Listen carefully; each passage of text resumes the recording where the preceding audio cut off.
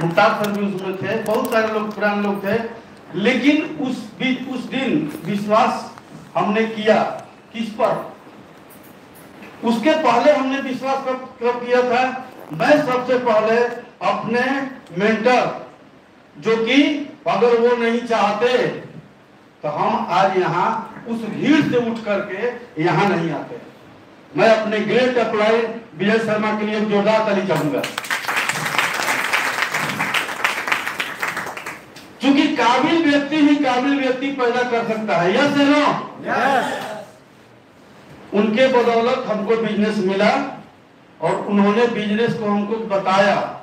हमने सुना समझा और करना स्टार्ट किया उसके बाद हमने अप्लाइंग को कभी ढूंढा नहीं। क्योंकि काम वही कर सकता है जो किसी के आश्रय पर नहीं करे। अप्लाइंग का मतलब क्या होता है? गाइडलाइन जहाँ पर उसको प्रॉब्लम है, सिर्फ़ प्रॉब्लम को सॉल्व आउट करें, काम तो हमको करना है। अगर हम सफल होना चाहते हैं तो किसी अपलाइन के भरोसे, अगर कोई सोचे कि मैं सफल हो जाऊँगा, ये मुश्किल है क्योंकि अपलाइन का कड़िया बहुत होती है, और हमारी कड़िया हमारे नीचे होती है। ऊपर से सीखना है, कैसे होगा? नीचे बताना है, ऐसे होगा। ऊपर से बताए सीखे कैसे? नीचे बताए ऐसे। और सुमन मैडम कहा करती है? बीच में से कमाए? पैसे। हमको एक लाइन याद है कि सीखे ऊपर से, सिखाए नीचे, बीच में से पैसे कमाए। तो मैं इस जगह पर जो हूँ, अपने एनएलएस परिवार के तरफ़ से सारे लोगों को बहुत बहुत धन्यवाद। और आप दूसरे के लिए तालियाँ ज़रूर बजाया करते हैं। अपने लिए जोरदार ताली बजाइए तो अब इस ताली की आवाज़ आपके बगल में ही नहीं जा रही है तो बाहर इस हॉल में पता नहीं लगेगा कि मीटिंग हो भी रही है या नहीं हो रही है। ताली जोरदार होनी चाहिए। इस मीटिंग में आप कुछ सीखे या नहीं सीखे, अगर ताली बजाते रहे तो कम से कम ये होगा कभी भी प्रयास कर लेंगे। घर में ताली भी बजाता है क्या? यस नो आप अपने घर में ताली बजाते हैं? बजाना शुरू करेंगे, लोग बोलेगा गया। यहाँ मौका है। बजा लीजिए। क्योंकि जब आप ताली अपने के लिए बजाते हैं तो सबसे पहले हमारा एक पंचर पॉइंट बॉडी से होता है कितने लोग सो रहा होगा, वो सोचता होगा कि मीटिंग खत्म हो गया। और आप अभी तक जो सो रहे हैं, अब जग जाइए। क्योंकि फिर एक साल बीत जाएगा मैं उसी भीड़ से उठ करके वहाँ से चल के यहाँ आया हूँ और मैनेजमेंट में कोई वैकेंसी नहीं निकलता है। आपके काम और आपके बिज़नेस के बदौलत किसी भी मार्केटिंग कंपनी में आपको रखा जाता है। या सुनो लेकिन ये तब होगा कोई भी बैठा हुआ इंसान ऐसा नहीं है कि जो बिज़नेस नहीं कर सकता है। लेकिन एक ही चीज़ उसको नहीं करने देती है। जानना चाहेंगे क्या? वो आपके अंदर का डर। खुद खुद ही डर लगता है, क्या होगा? अगर ऐसा हो गया तो? वहाँ गए, आदमी नहीं मिला तो? मेरे रास्ते का गाड़ी भाड़ा बर्बाद हो जाएगा। लेकिन यही सोच ले, जाएगा तो ज्वाइन करेगा क्यों नहीं? मेरा काम है बताना कितने लोगों को पता है कि एक व्यक्ति को प्लान दिखाने से कुछ पैसा मिलता है? या सनो एक व्यक्ति को पैसा दिखाने से प्लान से पैसा मिलता है। मिलता है नहीं मिलता है? दस लोग को प्लान दिखाएँगे, सिर्फ़ यही बोलना है, सर, प्लान सुन लीजिए। आपको ज्वाइन नहीं करना है। फिर भी पैसा मिलता है। कैसे? दस के बाद दो ज्वाइनिंग होती है। यस चलाओ दस लोगों को प्लान दिखाते हैं, दो ज्वाइनिंग होती है तो हमारा इनकम कितना होता है? सोलह सौ। एक आदमी से कितना इनकम हुआ? एक सौ साठ रुपया। दस आदमी में एक सौ साठ रुपया हुआ। आप मत ज्वाइन कीजिएगा। देख लीजिए ना एक सौ साठ मिलने वाला। देखेगा कि नहीं देखेगा? तो हमारा काम होता है। चलिए, बहुत देर नहीं करेंगे, मात्र पाँच मिनट का हम समय लेंगे। कुछ लोगों को अगर मेरी बात अटपटी भी लगती होगी, महसूस मौका यही कि आपको तो सुनना ही पड़ेगा। क्योंकि हम पाँच मिनट तो बोलेंगे ही बोलेंगे। चाहे तो भी चाहे दे नहीं भी तो। कितने लोग सुनना चाहते हैं? सभी लोग नहीं भी चाहेंगे फिर भी तो सुनेंगे। अपनी बात एक छोटी सी कहानी से स्टार्ट करेंगे क्योंकि आगे जो होने वाला है ये बहुत ही भयानक चीज़ होने वाला है जो मैनेजमेंट ने डिसीज़न किया है। मैं इस मीटिंग हॉल में जानना चाहूँगा वाकई में कितने लोग यहाँ सीखने के लिए आए हैं?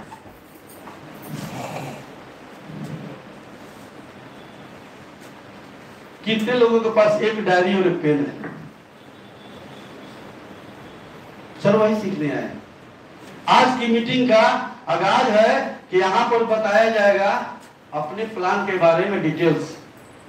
मैं बार बार बोलता हूँ कि सुना हुआ चीज़ और लिखा हुआ चीज़ दोनों में अंतर होता है। सुना हुआ चीज़ बाहर निकलने के बाद भूल सकते हैं, लेकिन लिखा हुआ चीज़ अगर पढ़ते हैं तो कभी भूल नहीं सकते हैं। तो हमको क्या करना होगा? अपना डायरी और पेन अपने पास निकाल लेना होगा। इस मीटिंग हॉल में आपको जो चीज़ अच्छी लगे नोट डाउन करें। जो बुरी लगे, उसको वहीं पर छोड़ दें। सब कुछ, सबका बात अच्छा नहीं होता है, सारा बात लेना ज़रूरी नहीं है। क्योंकि मैं कुछ बताने वाला नहीं हूँ। मैं आपको तैयार कर रहा हूँ कि आगे जो व्यक्ति बताएगा, आपका डायरी पेन रेडी होना चाहिए। तो मैं अपने बाणी के माध्यम से जो आगे बताने वाला हूँ, एक छोटी सी कहानी के साथ सुनील सर ने आपको कह दिया है, मोबाइल साइलेंट मोड में होना चाहिए। मोबाइल अभी भी किसी का बज रहा था तो मोबाइल साइलेंट मोड में कर लेंगे तो आपका भला होगा और आपके बगल वाले का भी भला होगा। क्योंकि इंसान के पास मुँह एक होता है और कान दो होता है, लेकिन आदमी सुनता कम है, बोलता ज़्यादा है।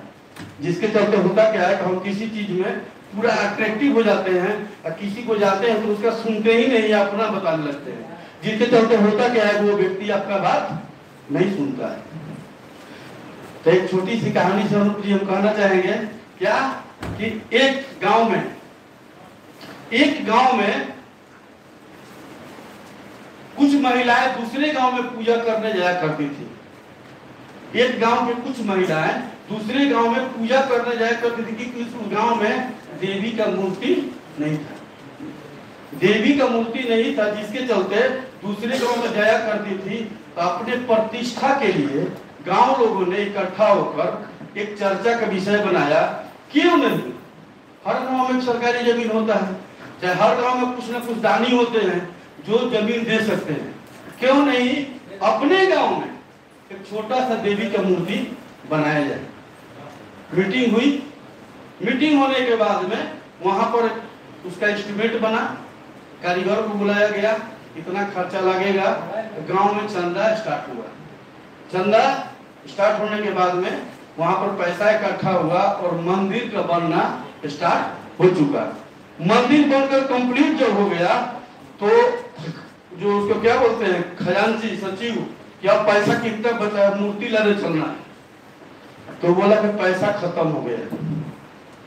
गाँव के लोग बोला था, चंदा एक ही बार लगा लो, दोबारा चंदा हम नहीं देंगे। तो बोला कि पैसा अब खत्म हो गया है, मंदिर तो बन गया। मूर्ति उसमें खरीदने के लिए पैसा अब उसके पास नहीं था। एक उसमें बहुत तेज आदमी था।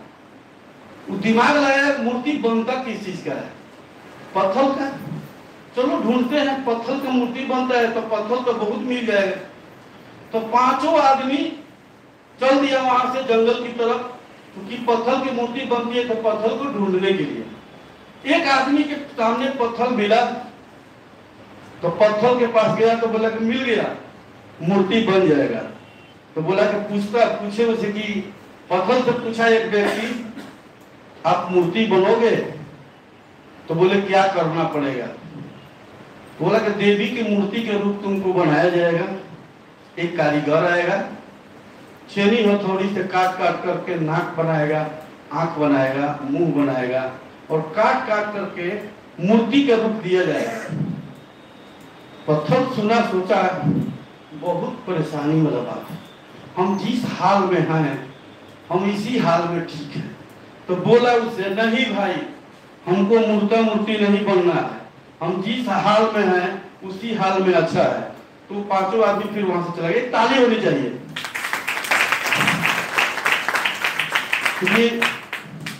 चंद्रेश्वर जी आँख बंद करके सो रहे हैं, लेकिन उसी स्थिति में क्या होता है? नींद लग जाता है। तो होता क्या है कि वहाँ पर क्या होता है? ट्रैक टूट जाता है बताने का। हमारा नज़र अब पड़ने लगे तो होता क्या था कि जब वो आदमी फिर जंगल की तरफ़, आगे तरफ़ बढ़ता गया तो दूसरा पत्थर मिला। तो उसे दूसरा आदमी नहीं, वही आदमी फिर पूछा। फिर मिल गया मूर्ति। अब मूर्ति की समस्या खत्म। पैसा नहीं है, फिर भी मूर्ति बन जाएगा। तो उससे पूछा कि भाई, आपको मूर्ति बनाना है देवी का रूप बनाना है। तो पत्थर बोला, करना क्या पड़ेगा? हम लोग यही पूछते हैं तो अगले ही पूछता है, करना क्या पड़ेगा? तो बोला कि एक कारीगर आएगा छेनी हथौड़ी से तुमको काट काट करके देवी का रूप बनाएगा। काट के आँख बनाएगा, मुँह बनाएगा, बनाने के बाद में मूर्ति बनाएगा, फिर उठा करके जग होगा। और जग में तुम्हारे मूर्ति को, रूप को जाकर मंदिर में बिठाया जाएगा। वहाँ पर पूरा गाँव के लोग आएँगे, फूल माला चढ़ाएँगे। कुछ सोच में पड़ गया। बोला कि सर इससे बढ़िया ज़िंदगी क्या हो सकता है? कुछ देर की तो बात है। आएगा तो काटेगा चल बोला कि हम बनने के लिए तैयार है। वो तैयार हो गया। कारीगर आया, काट छाट करके उसको पूरे देवी के रूप बनाया गया। बनाने के बाद में गाँव में जग हुआ और उस मूर्ति को उस मंदिर में प्रतिष्ठित किया गया। पूजा पाठ होना चालू हुआ, लेकिन आते वक्त उस पत्थर को भी गाँव के लोगों ने टांग कर लाया। जो कहा था कि हम मूर्ति नहीं बनेंगे बेचारा जीव उसका बचा नहीं। आया वो भी दोनों आया। एक आया तो उसको भगवान का रूप बना करके मूर्ति में बिठाया गया। जग हुआ फूल माला पूरा चढ़ा उसके ऊपर। अब वहाँ जितने लोग जाते थे चढ़ाते थे चादर फूल नारियल भी चढ़ाते हैं देवी जी के पास। यस नो वहाँ चढ़ाने के बाद नारियल कहाँ फोड़ते थे? बाहर निकलने के बाद। तो उस पत्थर को बाहर रखा गया था। क्योंकि लोगों को पता था कि नारियल फोड़ने के लिए पत्थर की ज़रूरत पड़ती है। किसी भी देवी स्थान पर जाइएगा, एक पत्थर बाहर में रखा रहता है। तो जितना लोग जाता था, नारियल चढ़ाया, नारियल लेकर धड़ाम धड़ाम धड़ाम बोल रहा था। ये बीतते बीतते कुछ दिन बीत गया। एक दिन वो पत्थर जो बाहर धड़ाम धड़ाम का मार सह रहा था तो पूछा अंदर वाले पत्थर से क्योंकि दोनों तो भाई थे, पत्थर ही थे। तो पूछा कि, अरे भाई, तुम भी पत्थर, हम भी पत्थर तुम्हारे पास लोग आते हैं तो पूजा करते हैं, फूल चढ़ाते हैं, चादर चढ़ाते हैं। और जितना तुम्हारे पास वापस आते हैं तो हमारे सर पर जाकर के नारियल फोड़ते हैं। ये मार हमको कब तक सहनी पड़ेगी? इस छोटे से लाइन को आप सुनिएगा इतना अच्छा है। अंदर वाले पत्थर जो मूर्ति था, वो बाहर वाले पत्थर से क्या कहता है? अरे भाई मौका तो तुम्हारे पास पहले गया। तुमने नकारा, हमने स्वीकारा। तुमको कुछ समय के लिए काट छाट बर्दाश्त करने की क्षमता नहीं थी। हमने सोचा कि कुछ समय की काट छाट बर्दाश्त कर लेते हैं तो बोला था लोग जीवन भर फूल माला तुम्हारे ऊपर चढ़ेगा। तो हम लोग इस चैप्टर से समझ सकते हैं, पूरे लाइफ में लोग भी क्या करते हैं कि कोई अगर कुछ बताता है तो उसको पहले ऐसे सोचते हैं, फिर लेके आ गए अभी देव खत्म नहीं हुआ, फिर दूसरा लेके लगता है आ गया क्या यस नो क्योंकि मार्केटिंग लाइन में जितना दिन से हम लोग हैं, यही हम लोग देखे हैं, कोई भी इंसान, किसी इंसान के पास अपने सोच और नज़रिया के हिसाब से उसका रिज़ल्ट मिलता है। अगर आप ये सोच के किसी के पास जाते हैं, कि मैं उसका ज्वाइनिंग कराऊँगा और वहाँ से आठ सौ रुपया कमाऊँगा, आपका दस रुपये से एक रिज़ल्ट नहीं आता है। अगर ये सोच के जाते हैं, हे माँ सरस्वती जो मैं इसको बताने जा रहा हूँ, इसको जितना जल्दी समझ में आ जाए कि कल के डेट में भी मेरे साथ लखपति बन जाए तो आपका रिज़ल्ट दस में से चार से पाँच आता है। हम अगर इस सोच के साथ काम करते हैं तो हमारा रिज़ल्ट आता है। इसी सोच और नज़रिया पर मेरे पास अगर पिछले मीटिंग में जो लोग गया था तो मैंने एक छोटी सी कहानी बताई थी। क्योंकि मैं छोटी छोटी कहानियों से आपको अट्रैक्ट करता हूँ कि आप इस चीज़ को आगे जो सुनेंगे, जो आगे होने वाला है, ये आपके लाइफ का चेंजिंग प्रोग्राम ज़रूर है।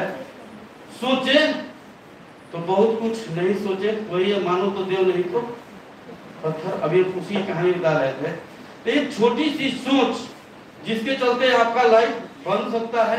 एक छोटी छोटी सी सोच इसका आपका लाइफ बिगड़ भी सकता है। इसी छोटी सी सोच में एक और आती है पहलू में कहानी, जिसका नाम है कि एक कुम्हार जो मिट्टी का बर्तन बनाया करता है।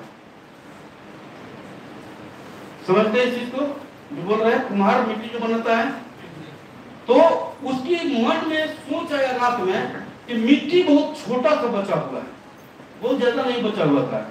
कि इसको निपटा देना है। टाइम खत्म हो रहा है। तो उसके दिमाग में सोच आया, इस मिट्टी के जो पीला बचा हुआ है, इसे हम चिलम बनाते हैं। बोले, शंकर के महीना है, नाम ले सकते हैं। चिलम बनाते हैं। उसके सोच में आया। सलाह किसे करने गया? अपने पत्नी से। सोच रहा छोटा सा मिट्टी बचा हुआ है, इसका छोटा छोटा चिलम बना देते हैं। उसकी पत्नी ने कही, चिलम बनाओगे तो होगा क्या? ई भी जलेगा, जिसके अंदर जाएगा वो भी जलेगा। तुम ही काम करो, इतना ही मिट्टी जो बचा हुआ इसमें छोटा एक सुराही बना दो। बोला, ये भी ठीक बोल रहे क्योंकि हम सोचते हैं या सलाह करते हैं अपने पार्टनर से तो सलाह को हम लोग मानते भी तो कुम्हार ने अपने सोच को चेंज कर दिया और इसी मिट्टी से छोटा सा सुराही बनाया। सुराही बनाने से क्या होगा कि वो भी ठंडा रहेगा, सुराही भी पानी उसमें ठंडा रहेगा, और जो पिएगा वो भी शीतल ठंडा रहेगा। तो इसी सोच के साथ अगर आज आने वाले आगाज़ जो आरा में हो रहा है, अगर आपने ध्यान से सुना तो वहाँ से एक आम डिस्ट्रीब्यूटर की तरह ग्यारह सौ अस्सी से मैं भी शुरू किया था एक साल पहले। और ग्यारह सौ अस्सी से मैनेजमेंट में सीसीएम से लेकर के डायरेक्टर पहुँचते पहुँचते आज फाउंडर पद पर हैं। आगे ना जाने हमारे सीएमडी सर कहाँ तक, कितने लोगों को लाएँगे? जिस भीड़ में आप हैं, उसी भीड़ में मैं भी कुछ दिन पहले लीगल में जो मीटिंग होता थे। बहुत लोग इसके गवाह हैं। लेकिन अपना एक मिशन और अपना एक विजन के तहत हमने काम को किया। आगे भी अपना काम पीछे देख करके किसी का नहीं करना है। अपने मंजिल को उस मुकाम तक लेके जाना है क्योंकि मेरा परिवार को सब कुछ दिलाना है।